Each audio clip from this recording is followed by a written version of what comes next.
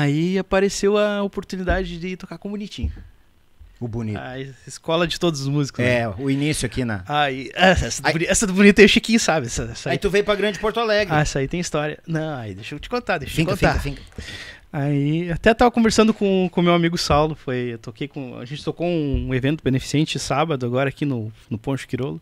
E aí desde então nunca mais tinha, o Saulo na época era vocalista do Bonitinho, na época que eu fui lá. E aí Uhum. nu- nunca mais tinha cruzado com ele, nunca mais tinha falado com ele. Aí eu tava lembrando ele. A gente tocou, eu fui tocar um final de semana, que era Alegrete, Manuel Viana e Itaqui, uma coisa assim, ali na volta. E eu me lembro que era início de final de ano. Era o Réveillon, do Réveillon era Emanuel Viana. Aí eu sei que ele tinha mandado pra mim, na época, era cinco discos. Cinco discos que ele tinha gravado na época. Uhum. Aí isso ele tinha mandado uma semana antes. E eu peguei e tirei aqueles cinco discos ali. Meio no grito, assim, porque era bastante coisa pra tirar, né? Sim. E numa semana eu peguei e tirei. E aí eu me lembro que. Que era. Manuel Viana.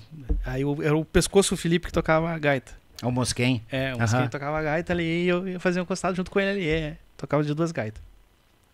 Aí ele largou a gaita e tá, e, pum, e aí ficou só eu. E, aí, e ele não, não, não, não tinha, não tinha um repertório, era o que viesse na cabeça ele largava, né? Era no grito. Aí eu, eu tinha tirado todas aquelas músicas e uma única música que eu, não- que eu tinha passado por cima, que era o Seu Paixão. Me lembro que fosse hoje, Seu Paixão. E aí do nada ele olha pro lado e grita Seu Paixão. E eu nem o tom da música não sabia. Ai. Eu digo, nem o tom da música. Ele ficou me olhando, eu olhando pra ele, ele me olhando. Quem é bonito? O bonito. Ele olhando, olhando pra ele. Seu paixão, seu paixão. E não saiu nada. Ele me olhando. E olhando, eu vi o Jader tocava baixo. E eu, eu olhava pro Jader. Ah, que tom é isso? Que tom é isso? Que tom é isso? E não saiu, seu paixão. Tá. Chegou. Ô, Gurizinho, dá mais uma treinada aí em casa aí, depois de conversa.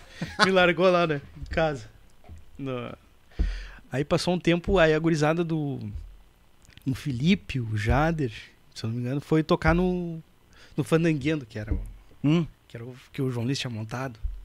Grupo Fandanguendo. sim. Aí eles saíram tudo lá do bonito e foram pro. Aí o bonito, tá, não tinha muita opção, vamos lá. tudo de novo. Já tá mais, mais afiadinho, vem. Vem.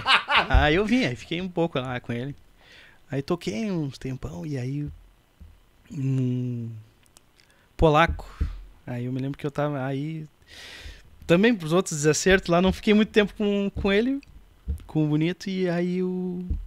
Aí ele foi me largar uma vez em, ali, como te falei, o pai era, era policial tinha, na- Uhum. tinha um, um hotel de trânsito, o Jerime, que é onde eu ficava, aqui bem na. Ali atrás, da- perto da Panambra ali, Uhum. que era a antiga Panambra ali. Aí tinha um hotel de trânsito da, da, da polícia. E eu ficava lá. E aí ele foi me levar um dia lá. Ele tem, um- tinha, tinha um temprão. Aí ele, ele conversando, ô meu gurizinho.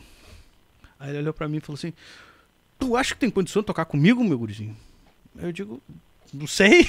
Quem tem que me dizer é tu. Ai, ai, ai. Então dá mais uma treinada aí. Então vai, vai, volta pra casa e dá mais uma treinada. Eu Então tá. Ó, Ele mandou treinar de novo. mandou treinar de novo.